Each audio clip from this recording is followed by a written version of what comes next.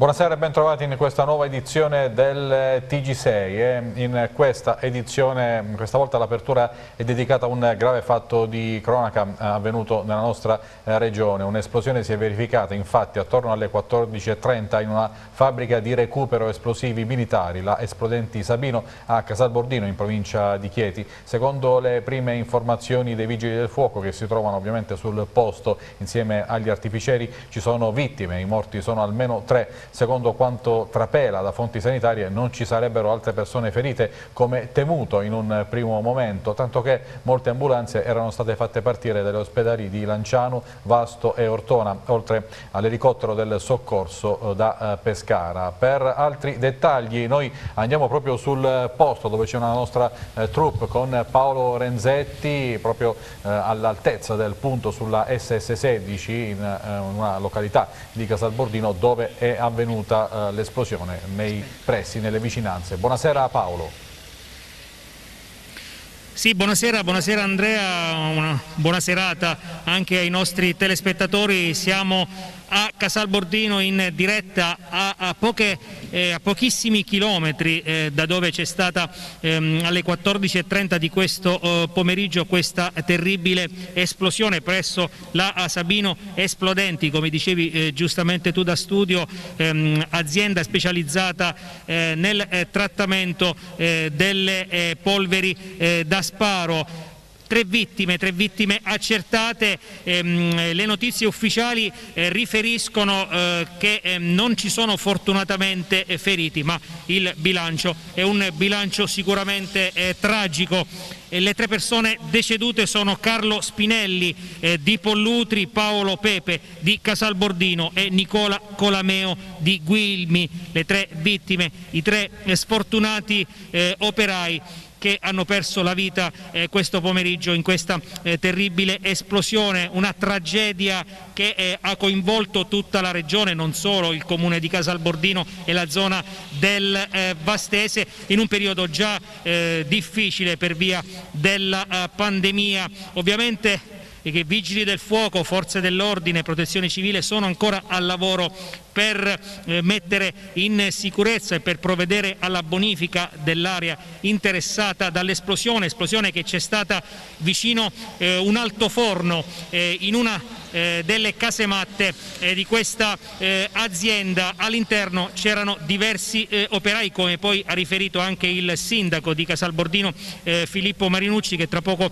ascolteremo, che abbiamo ehm, intervistato qualche minuto fa e proprio eh, prima di andare in onda, proprio qualche attimo fa, è arrivato qui direttamente dall'Aquila dove stava presiedendo i lavori del Consiglio regionale il Presidente della Regione Marco Marsilio per portare il cordoglio eh, dell'intera regione Abruzzo e di tutti gli abruzzesi ai eh, familiari delle vittime. Dicevamo che si eh, continua a lavorare per mettere in sicurezza e bonificare la zona, tra l'altro lo ha detto anche e poco fa il Presidente della Regione Marco Marsiglio, non sarà possibile prima di domani traslare eh, i corpi, quel che resta dei corpi delle tre vittime perché una volta messa in sicurezza la zona solo in quel momento gli artificieri potranno entrare all'interno ehm, dell'azienda, soprattutto nella zona dove c'è stata l'esplosione, per poter permettere il recupero delle salme.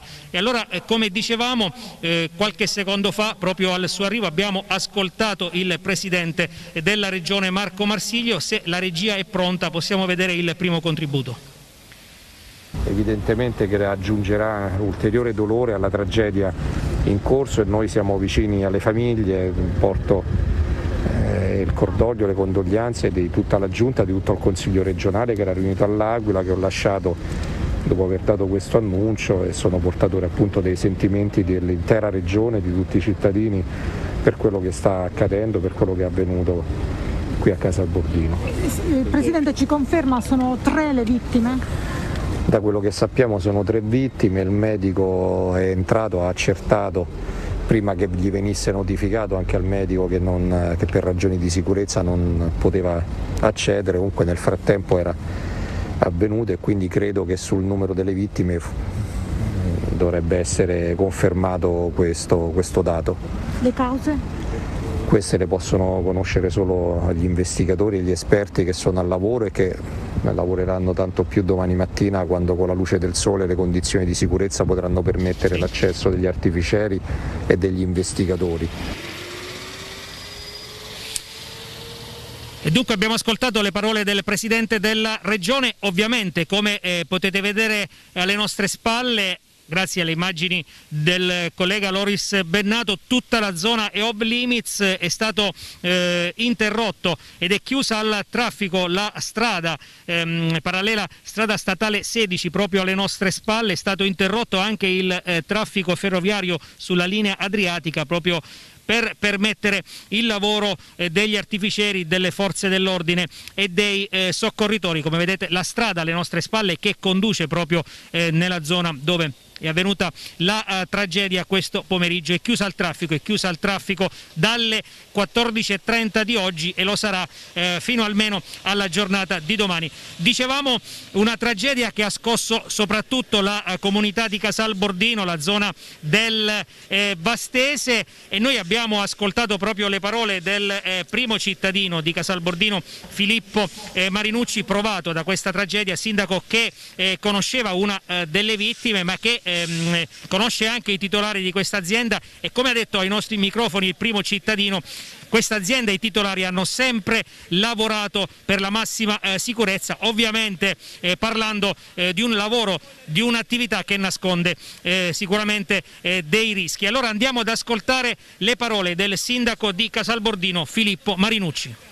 Sindaco, una tragedia eh, da cui è difficile davvero trarre anche qualche eh, parola in questo momento, cosa si sente di dire alla comunità di Casalbordino ma all'intera zona qui del Vastese eh, dopo questa tragedia immane? Sicuramente la mia vicinanza alle vittime, ai familiari delle vittime, come ben detto non è soltanto una tragedia di Casalbordino ma una tragedia anche di altri paesi, Pollutri e di Wilmi. Eh, eh, che dire, eh, una fabbrica che fa della sicurezza la, la, il punto principe, soltanto una fabbrica che eh, ha eh, la sicurezza, l'incidente dietro l'angolo. È una fabbrica grossa, 70, eh, per, 70 dipendenti su un'area di quasi 20 ettari di terreno e quindi con alta incidenza di pericolosità. L'incidente è avvenuto intorno alle 14, 14 e un quarto vicino, così mi hanno detto perché l'area non si può avvicinare all'altoforno dove sta lo smaltimento delle polveri eh, per cause che bisogna accertare tre persone hanno perso la, che erano adibite allo smaltimento hanno perso la vita. Quante persone c'erano al lavoro all'interno?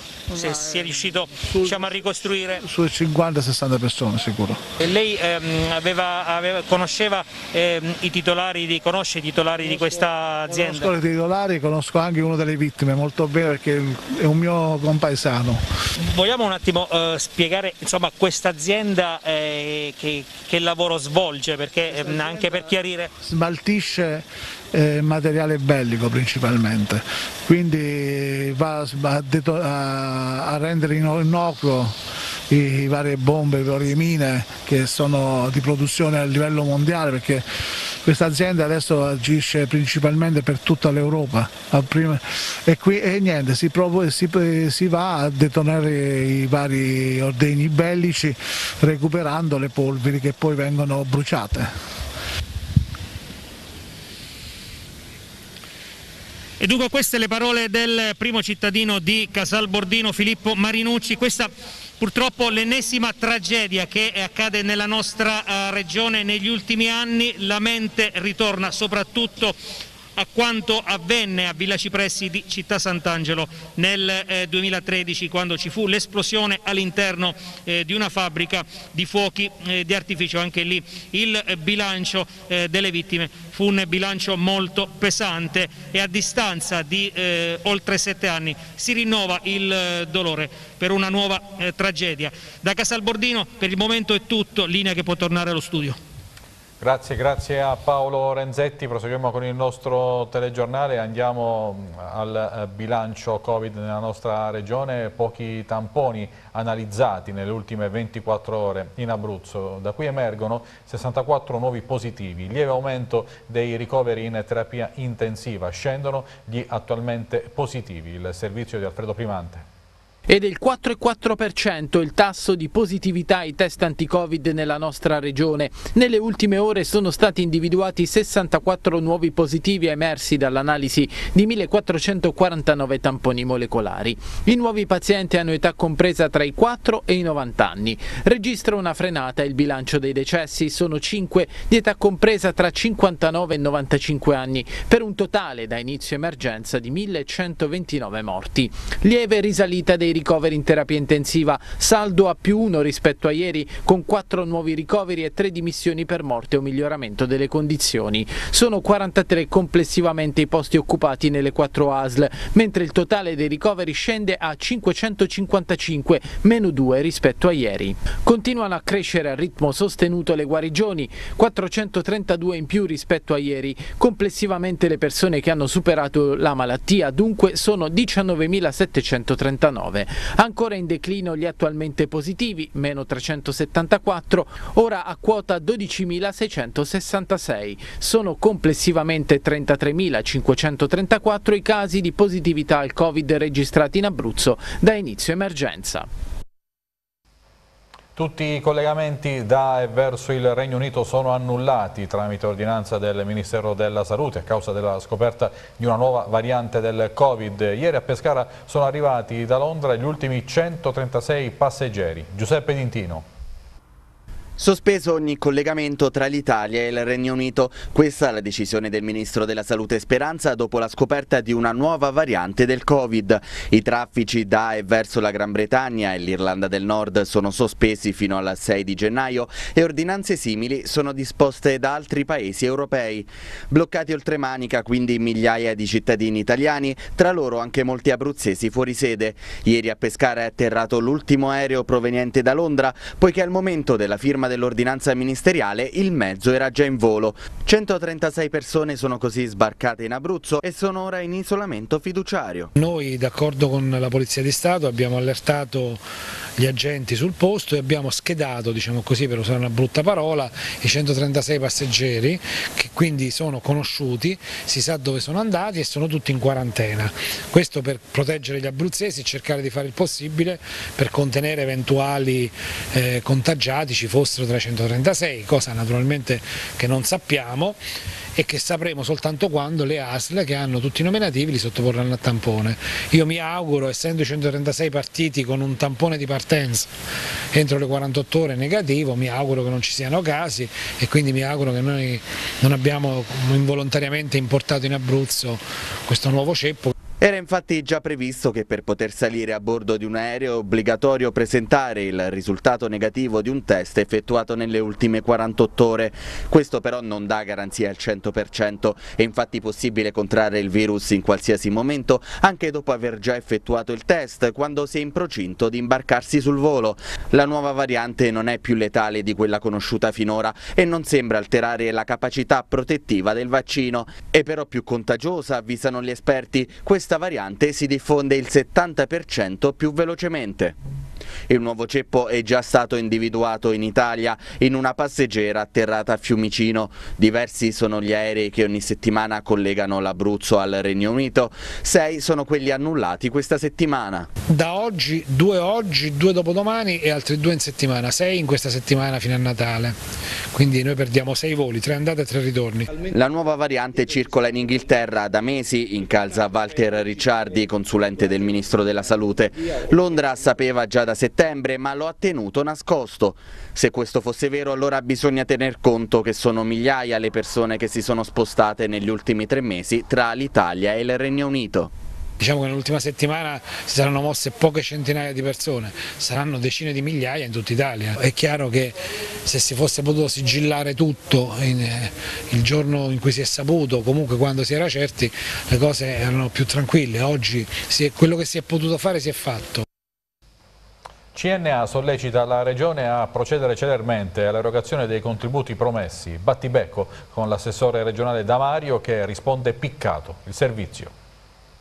Quando saranno erogati i contributi regionali promessi e quanto si chiede la Confederazione dell'Artigianato e della Piccola e Media Impresa. Bisogna infatti ancora procedere alla liquidazione delle somme inserite nella prima tranche dei Curabruzzo 1 e 2 varati l'estate scorsa.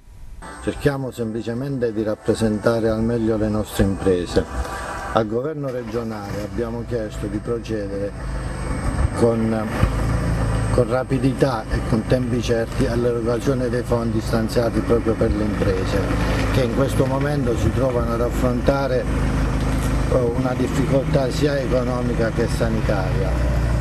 Alla Regione abbiamo sempre offerto il nostro contributo la nostra collaborazione e non intendiamo in questo momento venirne a meno e innescare conflittualità che non servirebbero e non aiuterebbero nessuno. Gli uffici regionali stanno lavorando per arrivare a liquidare tutte le pratiche nei tempi prestabiliti. Risponde così l'assessore regionale alle attività produttive Daniele Damario, che giudica totalmente fuori luogo, fuorviante, pretestuosa e inopportuna la presa di posizione di CNA. I dipendenti regionali, aggiunge Damario, stanno rinunciando anche allo smart working pur di arrivare ad evadere le 11.000 richieste di contributo già depositate in ragioneria. Bilancio di fine anno positivo per l'Università di Teramo, nonostante un 2020 terribile. Le iscrizioni sono aumentate del 4,5% e il numero totale degli studenti potrebbe arrivare a quota 2000. Il rettore Dino Mastrocola si dice fiducioso per il futuro dell'Ateneo Telamano, ma non risparmia critiche alla Regione Abruzzo, che ha scelto un'università non abruzzese per una convenzione agro-silvo-pastorale. Il servizio di Tania Bonici Castelli.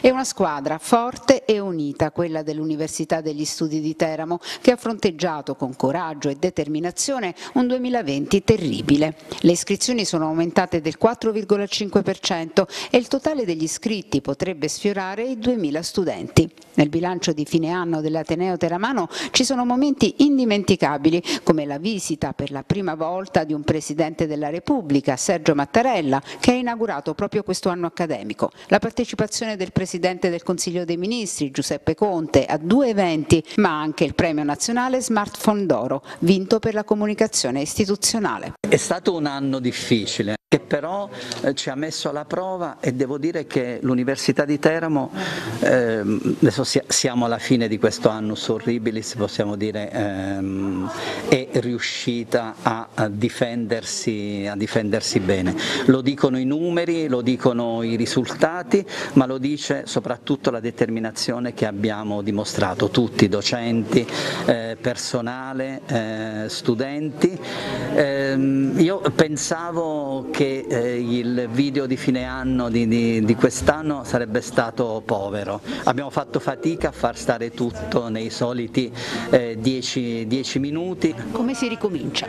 A gennaio eh, mh, torneremo a fare gli esami in presenza, speriamo il primo marzo di riniziare le lezioni in presenza e quantomeno con mh, le formule miste, abbiamo eh, tutte le attrezzature per poterlo fare, abbiamo tutti i dispositivi dispositivi eh, per la sicurezza implementati già lo scorso anno, quindi sono sicuro che ehm, ci riusciremo. Intanto il 7 gennaio le lezioni all'Università di Teramo dovrebbero riprendere in presenza il magnifico rettore Mastrocola si dice fiducioso per i mesi a venire e per il futuro dell'Ateneo Teramano, ma non risparmia una dura frecciata alla Regione Abruzzo che ha scelto un'università non abruzzese per una convenzione agro-silvo-pastorale. Ci dispiace che la nostra regione insomma, per una convenzione sul sistema agro-silvopastorale abbia deciso di rivolgersi ad una università esterna al ehm, sistema universitario regionale, ma molto probabilmente eh, ha ritenuto che erano più bravi di noi, però insomma forse guardare anche alle eccellenze che ci sono a livello di formazione e di ricerca sul territorio non sarebbe sbagliato. Apriamo ora la pagina dello sport, domani nuovo turno infrasettimanale per il Pescara che alle 19 ospiterà il Brescia, convocato Cristian Galano che ha superato il piccolo problema muscolare avuto con il Monza ed ha buone possibilità anche di giocare dal primo minuto. Potrebbe partire dalla panchina invece Seter, direzione di gara affidata a Prontera di Bologna, il servizio. Cristian Galano è regolarmente convocato per il match infrasettimanale con il Brescia. Come si vede dalle immagini, l'attaccante era presente nella seduta di rifinitura di questa mattina allo stadio Adriatico Cornacchia. Galano ha sostenuto una ecografia che ha scongiurato qualsiasi danno di natura muscolare. Dunque ci sarà ed ha anche buone possibilità di partire dal primo minuto. Galano aveva accusato un piccolo fastidio all'adduttore a seguito del gesto col quale aveva realizzato il gol dell'1-0 con il Monza e poco dopo aveva chiesto il cambio per poi riposare nella seduta di scarico del giorno dopo. Dubbi invece sulla presenza dal primo minuto di Seter che con il Monza ha giocato un numero di minuti più alto del previsto. Ha un po' di affaticamento e Breda potrebbe tenerlo inizialmente in panchina per poi farlo entrare nella ripresa. Torna Anzità nella lista dei convocati, non ci sono Busellato e Masciangelo anche se l'esterno Mancino è praticamente ristabilito e sarà pronto per Chiavari. Se in attacco ci sono dei nodi da sciogliere, per il resto Breda dovrebbe confermare l'11 di sabato scorso. Una valutazione sarà fatta fatta su Balzano in caso di panchina, pronto Gut.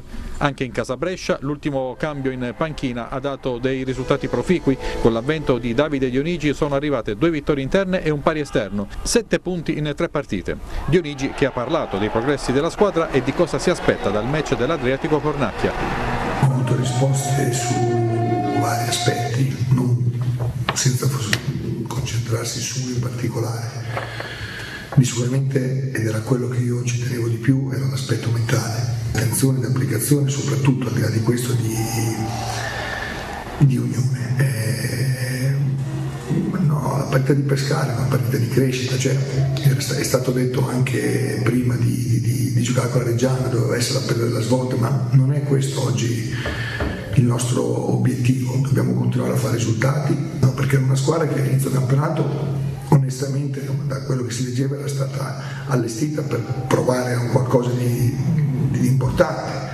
Poi le vicissitudini non sta a me giudicarle quello che è successo, ha un allenatore preparato, un allenatore, un amico, un allenatore che eh, sa quadrare bene le due fasi e in più ha queste individualità importanti e, e quindi è una, è una signora squadra da, da affrontare. Posto duro il Brescia per il Pescara, tra le mura amiche il Delfino ha 7 vittorie, 11 pareggi e ben 8 sconfitte. Negli ultimi due precedenti il Brescia ha violato l'Adriatico con risultati netti 0-3 nel 2017, 1-5 nel 2019, risultato che lanciò le rondinelle verso la Serie A e tolse il Pescara di Pillon dalla lotta per la promozione diretta. Ultimo successo biancazzurro nel 2016, 2-1 con reti di Lapadula e Memushai. Direzione di gara di Prontera di Bologna con cui il Pescara squadra non ha mai vinto in tre partite, due sconfitte casalinghe con Crotone ed Empoli ed un pari 2-2 col Perugia lo scorso luglio con errori clamorosi che penalizzarono i biancazzurri. Una direzione e una vittoria con il Brescia. Serie C, seduta mattutina per il Teramo che prosegue la marcia di avvicinamento al prossimo turno infrasettimanale di campionato in programma mercoledì a Bisceglie. Buone nuove dal fronte infermeria, sono rientrati regolarmente in gruppo il portiere Valentini e i difensori Diachite e Lasic, mentre il centrocampista Ilari ha riportato una distorsione alla caviglia destra che verrà meglio valutata nelle prossime ore. Domani rifinitura mattutina prima della partenza per la Puglia. Tanto ascoltiamo il eh, trequartista eh, Domenico Domenico Mungo. Eh, noi, come dico sempre, eh, giochiamo tutte le partite per, per, vincere e portare a casa i tre punti. E ti ringrazio per quello che hai detto su di me, ma noi che stiamo in panchina, eh, cioè per far vedere che valiamo, dobbiamo fare qualcosa di in più quando entriamo. E oggi è andata bene quando sono entrato e potevamo vincere pure la partita. Purtroppo non, non ci siamo riusciti, anche se abbiamo avuto tantissime palle, palle gol alla fine. Eh, stavamo facendo molto bene prima, adesso ci stanno mancando un po' le vittorie, ma torneranno come, come facevamo all'inizio. Non, tutti i campionati ci sono alti e bassi. È capitato a noi, fortunatamente non stiamo perdendo le partite ma le stiamo pareggiando e arriveranno anche le vittorie. Speriamo già da mercoledì.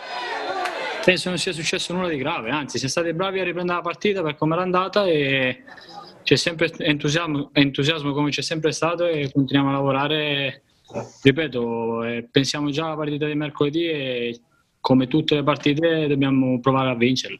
È... Purtroppo ci sono le partite che puoi vincere e non puoi vincere, oggi mm, abbiamo avuto un sacco di occasioni, non ci è girata tanto bene alla fine abbiamo pareggiato, meglio pareggiare che perderla. E speriamo che ci capiti anche a noi di giocare male e vincerla. Eh, se sapessimo qualcosa, cioè se sapessimo come fare per andare là e vincere, eh, tutti i primi in classifica saremmo. È...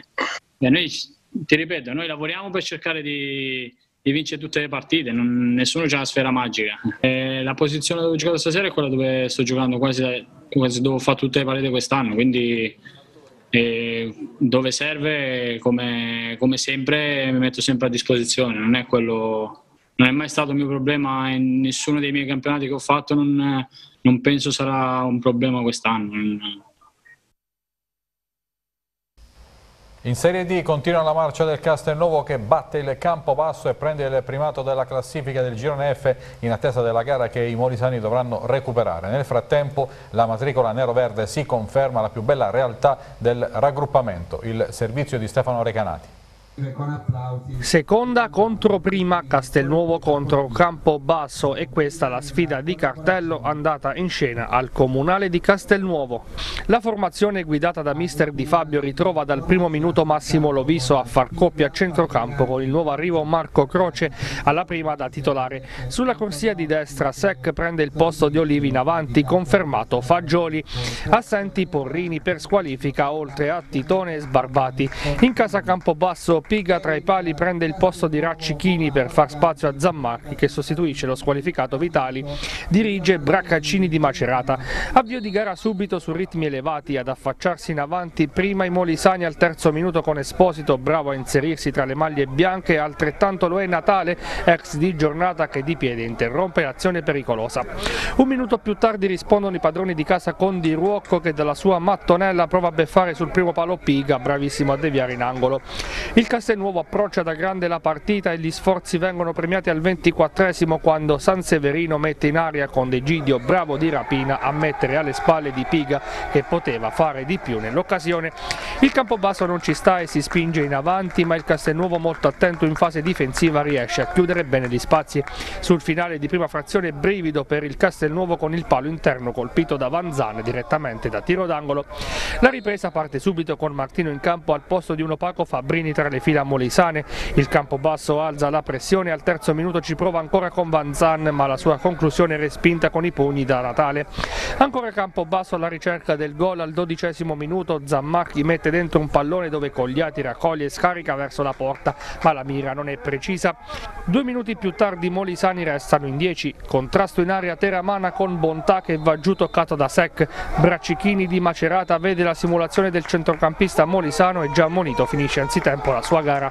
I padroni di casa approfittano subito della superiorità numerica al sedicesimo quando De Gidio, pescato libero da Croce, carica il destro che si spegne nell'angolino alle spalle di Piga. Dopo la girandola di cambi torna in avanti al ventiquattresimo il campo basso con Vanzan, il più pericoloso dei suoi, che chiama la risposta bassa Natale. Alla mezz'ora dalla distanza è la volta del new entrato Bregasi per il Castelnuovo ma la sua conclusione viene deviata in angolo da Piga. I molisani faticano con l'uomo in meno a impostare il Castelnuovo all'occasione occasione per chiudere la gara al 35 con un colpo da biliardo di Di Ruocco, ma il suo tiro fa solo la barba al palo. Nei minuti di recupero arriva il gol della bandiera del campo basso con Sforzini che mette in rete un cross di Esposito, il migliore dei suoi, bravo a recuperare la sfera a centrocampo. Al triplice fischio finale esplode la gioia in casa Castelnuovo che si gode il primo posto in classifica prima della sfida di mercoledì in casa contro il Notaresco.